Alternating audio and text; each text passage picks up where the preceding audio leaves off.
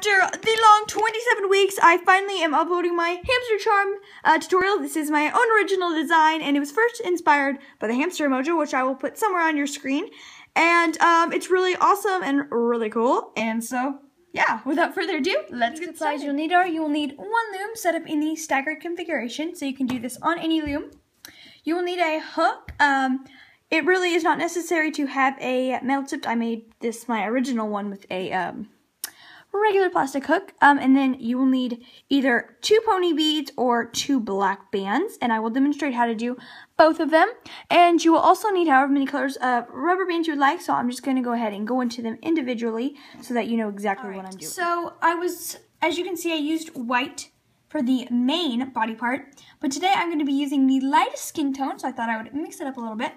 For this neon orange representing this one, I'm going to be using the darkest shade in the skin tone. For the ears, I am going to be using the same color, the light skin tone. For the nose, I'm using a regular pink opaque. And then these are not Rainbow Loom brand. Um, they're um, loom bands, and that's what I'm going to be using for the whiskers. However, I also used clear one time, which I do not have that one. Or you can use like a, a darker one. It's just um, really fun. I'm just going to be using the light gray and so, yeah, let's get started. The first thing we're going to do is make our extra little parts that we cannot make while it's on the loom. So we're going to make an, one ear and one arm because as you can see, I've already made that. And then we are also going to make the nose and whiskers. So starting out with your ear color, you're going to take two of them, and I just dropped it, um, and place it on the loom like this. We're going to go down five times. So that was one, two, three, four, and five. Now we're going to take a single band of that color and wrap it around the pin three times. So there's one, two, and, well, three. Sorry, it's harder with the tripod. Now we're going to loop that up. So first you're going to go through your triple cap band there, grab the first two bands, hold down your cap band, and then pull it in front. Then go back in, pull the next two bands, go back in, take the next two bands, next two bands, and next two bands. Now you're going to take your hook, and I'm just going to use this as your spare, even though we will be putting them on. Uh, so if you only have one hook, that's fine. If you want to use a toothpick or whatever. And then I'm just going to pull it off of the loom. So now we're going to make the little arms. This is on the hook, but I assure you it's very simple. So as you can see, I used the neon orange, which is the second color, and then your main color, which I'm this using this um, light color. So first what you're going to do is you're going to take this extra one, and you're going to wrap it around your hook three times. So one, two, three. As you can see, you should see three loops. Take your two other main color, and you're going to place those on, and then you're going to slide these loops onto that band and place it back onto your hook.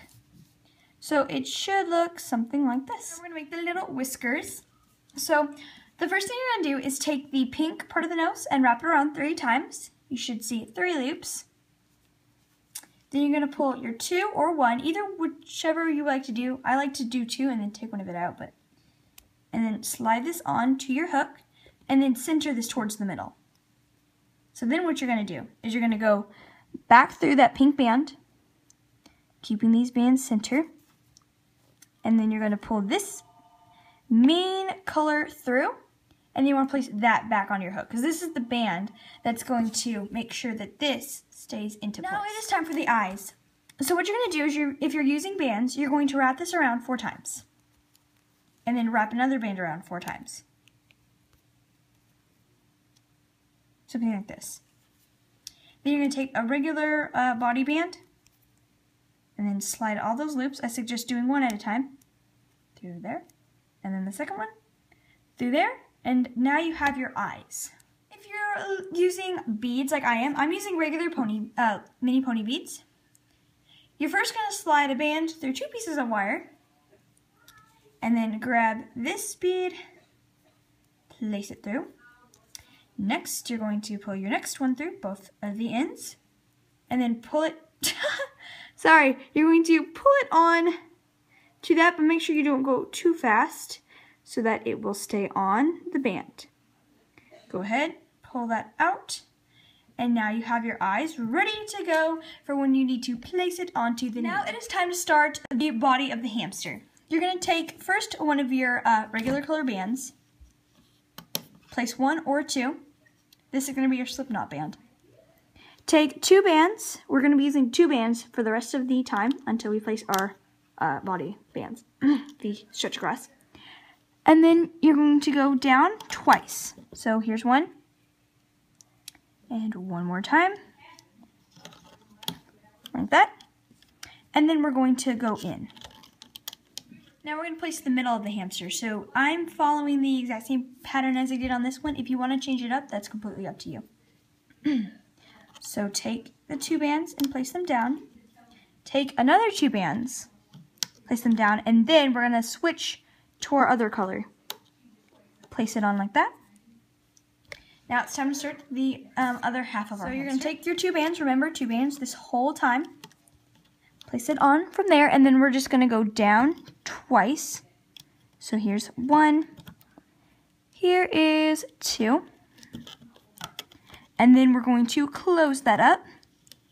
So make sure these are all in level because as you can see, this hamster does not have like one neck band. It is completely thick. So you're going to have so many bands on this pin. So do make sure that you have all your bands nice and straight I'm to start pin. over here using my main body color. I'm going to go straight out, keeping all those in line and pushing it down very far.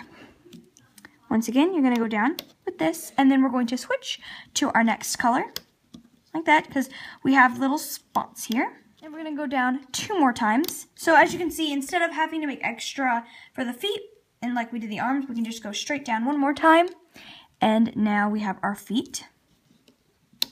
So now we're going to place the middle. Place those on here. Mine's a little crooked. Make sure that that does not happen. You want it to be nice and straight. we're only going to place two more times. So here's one.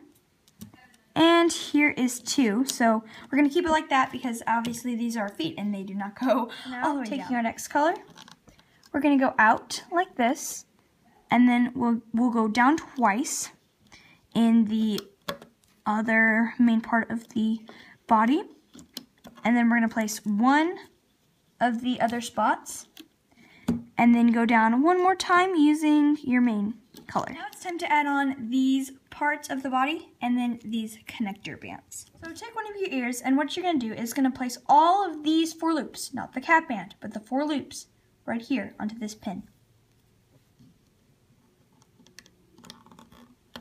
Alright, so you should have that triple cap band.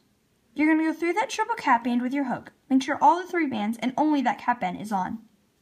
Then you're going to place it down on the next pin. So you should see almost this like C shape Now you're going to take your eyes and you're going to place this first band right over here and then this band right over here. Then you're going to want to separate the eyes and you're going to want to grab this top loop here and loop it up to create this triangle now type you're going to want to grab your nose and you're going to want to make sure the whiskers are pointing up like this and you're going to go straight across on these last pins. One band, one band.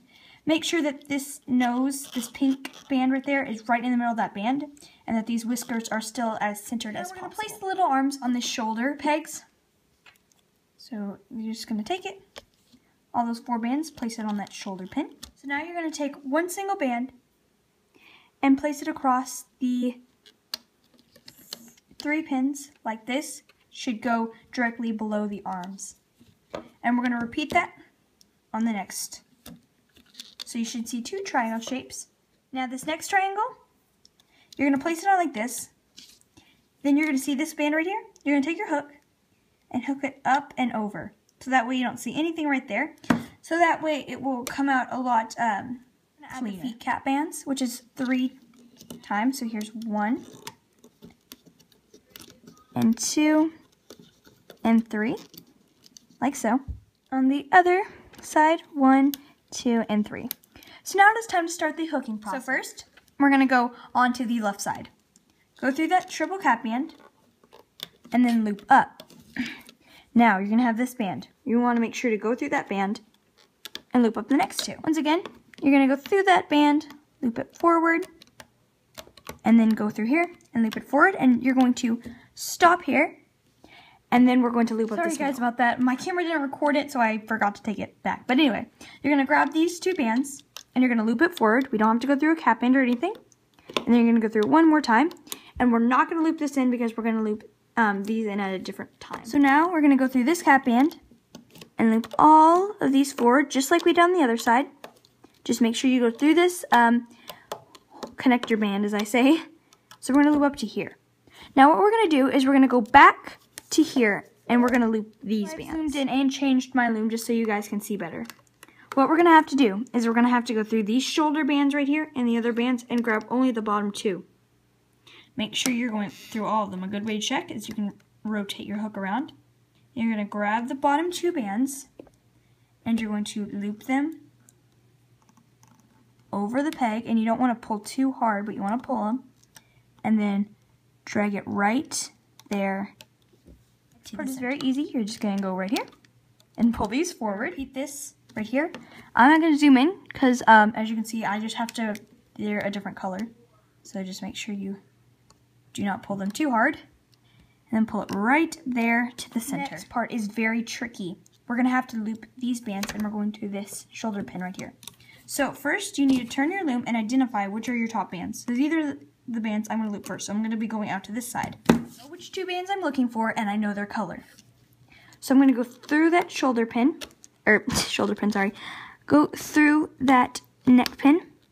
And I'm going to go through and make sure I go through every single band grab those top two bands and very gently pull it through and then loosen it up very quickly because you don't want those to snap because it is very possible to snap so you can't just pull them over otherwise it will snap and yes that even does happen with rainbow bands because I've actually done that before so then you're going to go through again and you're going to make sure that you grab these uh, first two bands so sometimes you can kind of go around to make sure you know which you're grabbing. So then very gently, hook over here, and then you're going to want to push this nose up a little last bit. ones are very simple. All you got to do is go through, and then I put my hook in the wrong way through, and then just loop them right up.